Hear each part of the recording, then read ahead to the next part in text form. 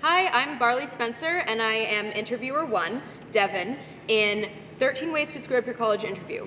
This is a crazy play. Okay, and, and the entire audience is just completely drenched. oh man, wow. Uh, hello, my name is Marilyn Obare. Um, I'll be playing interview number two in 13 Ways to Screw Up a College Interview.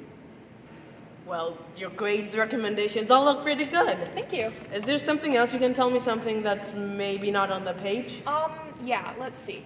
Well, I never played sports at school, but I played in a number of rec leagues. Oh. Volleyball, soccer, and basketball. I volunteer at a soup kitchen every month. I'm a practicing vampire, and I teach sailing during the summer at a sleepaway camp. Is that what you're looking for? It is vital that I attend this university.